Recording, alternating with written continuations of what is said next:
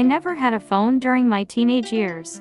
Growing up in the 2001s, cell phones hadn't become commonplace yet. I remember that my friends had beepers and some of them had landlines, but I never felt that I needed a phone of my own. I knew that I could always call my friends on either their cell phones or their landlines, so I never felt the need to keep up with the latest technology. Instead, I spent my time doing other things. I took up hobbies like painting and playing the guitar, and I even started a band with some of my friends. Instead, I spent my time doing other things.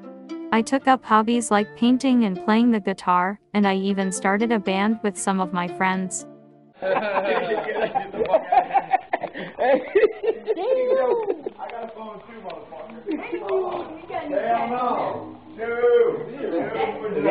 Yeah, that's what it look like. nah, you good, yo, you good. You good, I mean, you good.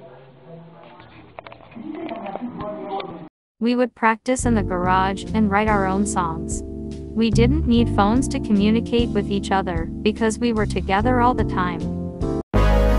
Like I belonged, and I was often left out of the group. I tried to stay positive, but it was hard. I was constantly reminded that I didn't have a phone. My parents surprised me with a phone.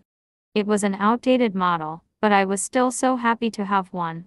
I could finally talk to my friends without feeling left out. I had finally caught up with the times. It made me realize how powerful technology can be.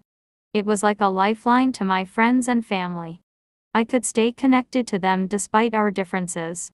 From that day forward, I cherished my phone and all the ways it connected me to the world. As I look back, I'm thankful for the times I didn't have a phone. It taught me to be grateful for what I do have and to appreciate every moment. The thing is